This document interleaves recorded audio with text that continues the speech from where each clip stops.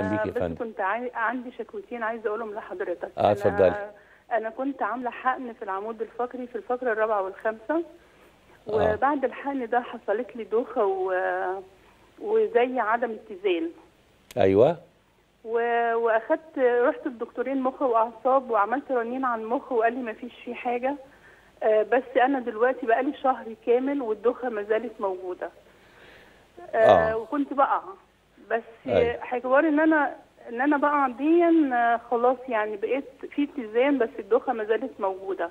آه. آه، دلوقتي بيحصل لي زي تسلط في رجلي الشمال. آه، وش رجلي بيقف خالص مع الساق لغاية الركبة. أيوه.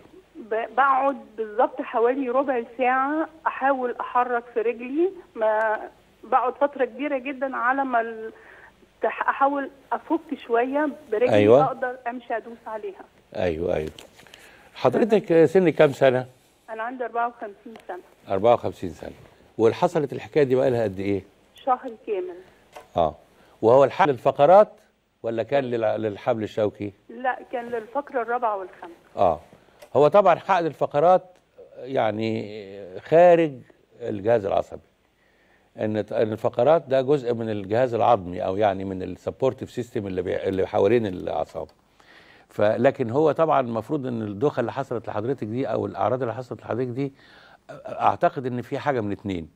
يا إما يكون نتيجة المادة اللي اتحقنت ساعات الم- المواد دي بتعمل نوع من الحساسية في الجسم.